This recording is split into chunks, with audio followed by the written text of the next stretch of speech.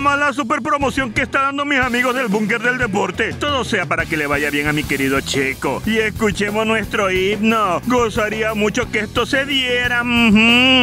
Sorpresivo la verga, soy su amigo Siempre que este es el resumen de la semana. Lunes.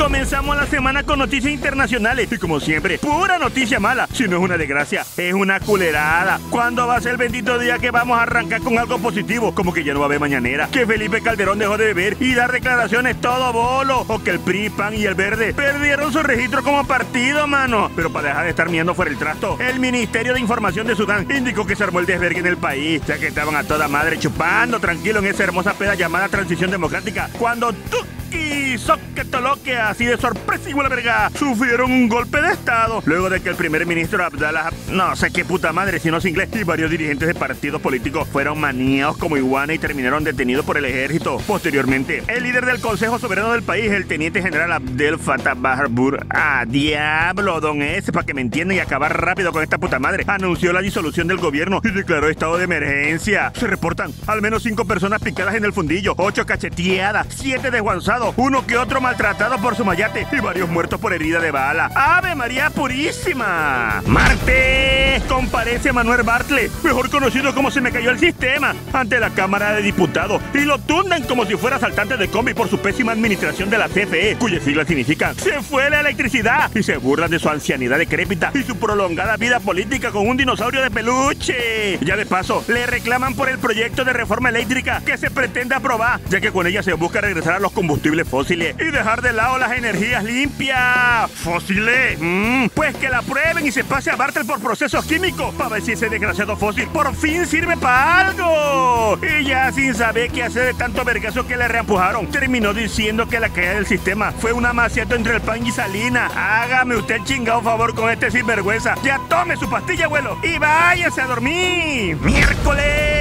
se celebra en Tabasco el decimocuarto aniversario del Inundation Day. Tabasqueños adornan su vivienda con costales de arena, encharcamiento, meten sus documentos en bolsas de nylon y suben sus cosas al segundo piso. Colchones, ollas, estufa, refri, hasta la abuelita. Otros más agalambados ponen su enseres sobre unos blogs ahí, todos pichorrientos. Familias enteras se disfrazan con impermeables amarillos, de damnificados, de soldados, de despensa y esperan ansiosos a ver qué les trajo el licenciado Inundation. Además de recordar frases que pasaron a los anales de la historia como estamos envergados y duerman tranquilos, pero estén alerta. Mientras tanto en Coahuila, un flamazo en la planta de altos hornos deja a un seleccionado. Ah, diablo, está bien que sean aficionados al cabrito asado, pero no se pasen de su verga. Y estudiantes de la UNAM convocan a paro de labores para protestar contra AMLO. Un paro de aquí al martes que viene. Esa madre se llama Puente. Jueves.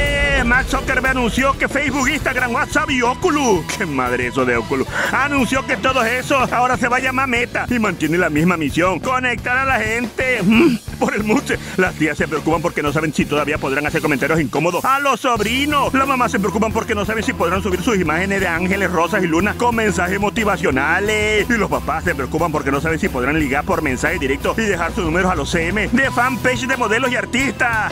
Estarán atalantados. Lo que va a cambiar a nombre de Meta va a ser la empresa, no las redes sociales, puta. Así que Meta, dedo en el culo. Viernes, el gobierno de Tabaco publicó el decreto 5507 que permite el avance hacia la nueva normalidad, es decir, de semáforo epidemiológico naranja a semáforo amarillo, exhortando a la población a mantener las medidas de higiene y sana distancia para contener la propagación del COVID-19. Ah, que nos valga verga, dicen. Esta actualización entrará el primero de noviembre, pero para los tabasqueños eso significa ¡A culos! Salgan de una vez, chingue su madre, saturen los comercios, juguetense la lengua, dense lengüetazos en el cortachurro, pásense la caguama, hagan una bulla, ¡viva el Golgorio Choco! A lo que me pregunto, ¿cuándo estuvimos en semáforo amarillo tú? ¡Zapata! Le digo que nunca hay buena noticia. Y es que en redes sociales trasciende la muerte por herida de bala del actor tabasqueño Octavio Caña, quien interpretara al entrañable personaje Benito Rivers en la serie Vecino. Son mamadas, coño. Y domingo ¡Oh! ¿Qué es sábado? ¿Qué está pasando? ¡Dios mío! ¡Estoy viajando en el tiempo! ¡Su puta madre! ¡Ah, coño! El horario de invierno, ¿verdad? Inicia oficialmente el horario de invierno y nuestro reloj biológico valiendo verga en alta, hermano. ¡Traigo un sueño! ¡Diantre! ¡Que mejor me voy a dormir! Soy su amigo Jennifer Manchoco. Allá nos vemos y no se les olvide darle like, comentar y compartir este video. ¡Dios! En la próxima entrega ya sabremos si ganó el Checoto, aunque Win Bunker sabe cumplir. Yo estuve presente cuando la promo de la remontada 5-0 del Barcelona. Manito, fue una locura. Todo el restaurante se fue sin pagar.